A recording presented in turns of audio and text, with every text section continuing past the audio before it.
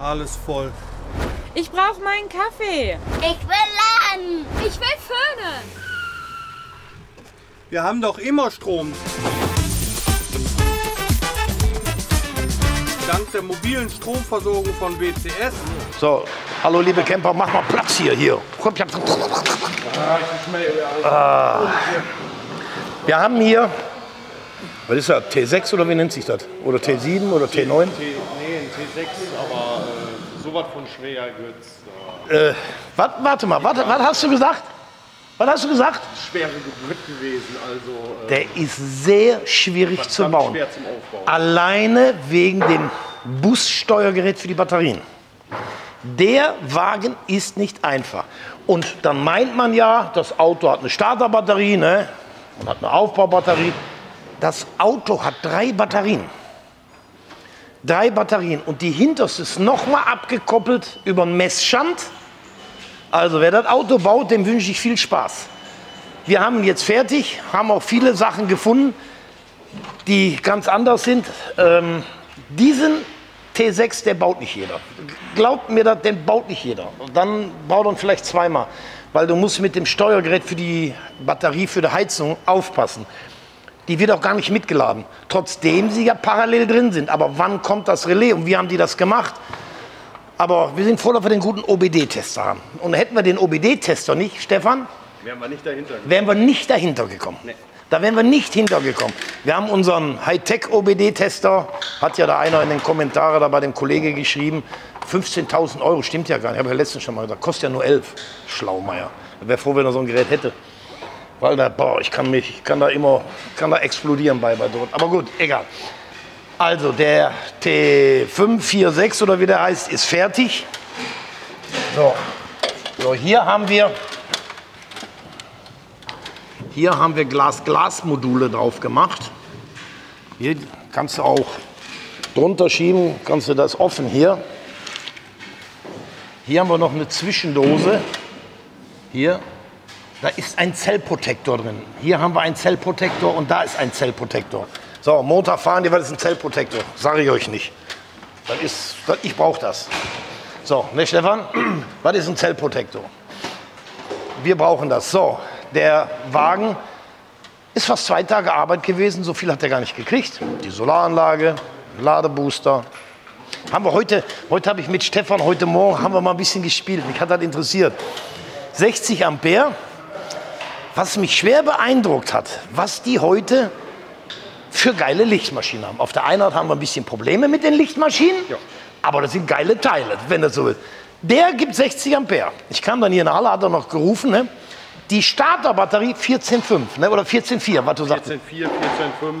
Überleg mal, unter voller Last. Ja, unter voller Last. Ich sag, Stefan, Stefan, mach mal Fernlicht an. Stell da mal rum. 14,2.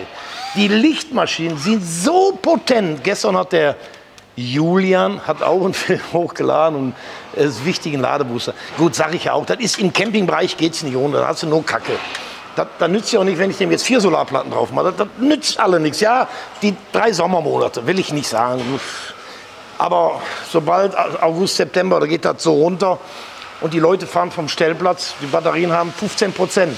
Jetzt fährt er aber nur drei Stunden. Sind meine Batterien voll. Mit der Solaranlage ist noch nicht, noch nicht mal Viertel voll. Fangt an zu rechnen. Und das fand ich gut, hat er gestern gesagt. Ja, der Wagen hat drei Batterien. Drei. Und äh, wie gesagt, da haben wir eine dicke Fehlermeldung drin gehabt, bis wir dahinter gekommen sind. Die Fehlermeldung ging nicht weg und wir konnten das Display nicht bedienen. Dann haben wir den OBD angesteckt und siehe da, das ist ein geiles Teil. Das, also echt, einfach nur genial.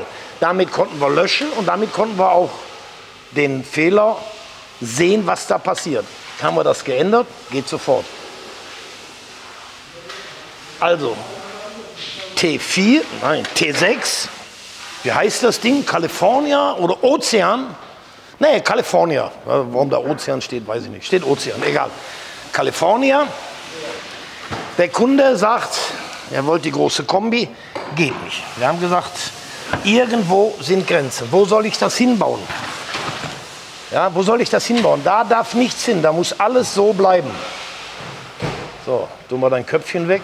Also haben wir eine kleine Kombi genommen, 1000. Die haben wir hier um die Ecke gemacht. Du hast nirgendwo Platz. Hier sitzt er, ne? Das ist nur der Wechselrichter, ne? Schalten wir mal ein, den Wechselrichter.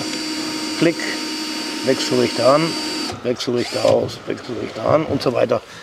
So, unter dem sitzt jetzt der Ladebooster und die ähm, der Ladebooster und darunter sitzt Ladegerät und Solarregler. Geht ja weiter. Das kleine Spielzeugladegerät, was der Wagen hier hat, kann nicht 200 Ampere-Stunden Lithium laden. Das verreckt, das, das raucht ab. Also haben wir da noch ein 25 Ampere Ladegerät drunter gemacht. Dort drunter sitzt der Solarregler und darunter sitzt der Ladebooster. Und wir haben dem Ladebooster 60 Ampere gegeben, weil er spielt damit. Das ist für den keine Herausforderung, weil die Lichtmaschinen heute wirklich Bums haben. Das war vor, wenn man so ein bisschen zurückrechnet, vier Jahre waren die Lichtmaschinen viel, viel schwächer. Ja, die ersten Ducatos hatten 130 Ampere, glaube ich. Die haben ja jetzt schon 150 und 180. So, was kann ich da ziehen? Wenn das Auto vorne, da ist nichts an, was von mir aus die Klimaanlage, da ist keine Belastung drauf. Auf der Lichtmaschine ist keine große Belastung drauf. Die hat aber 180 Ampere. Dann kann ich doch 60 ziehen. Ja? Hat ja einen Sensor alles dran. Ne? Der könnte im Stau reinfahren, von mir aus 35 Grad draußen und die Lichtmaschine erwärmt sich stark, schalten wir ja ab. Und wir takten runter. Ne? Wir takten ganz schnell die Spannung runter. Ähm, das funktioniert alles tadellos. Ne? Wie gesagt, sehr, sehr, sehr schönes Auto, wirklich. Ich habe ja auch, ich fahre ja privat eine V-Klasse. Mit meinen Rennwagen komme ich ja nie, habe ich auch nie Zeit für. Fahre ich lieber meine V-Klasse. Ich habe so einen wirklich schönen Luxusbus, könnte man sagen. Ne? Und äh, fahre ich auch am liebsten. Ich fahre am liebsten mit meiner V-Klasse, muss ich ganz ehrlich sagen. So, das ja, eine Riesenliste, was wir da, wie wir das alle da reingepackt haben. So, jetzt ist er fertig. Zwei volle Tage. Zwei volle Tage, teilweise zwischen zwei und drei Leute. Wisst ihr mal Bescheid? Liebe Camper, so sieht das aus. Ein T6 zu bauen mit diesen Steuergeräten ist nicht einfach. Wie gesagt, der Wagen hat ab Werk drei Batterien, aber nicht eine Starter und zwei Aufbau.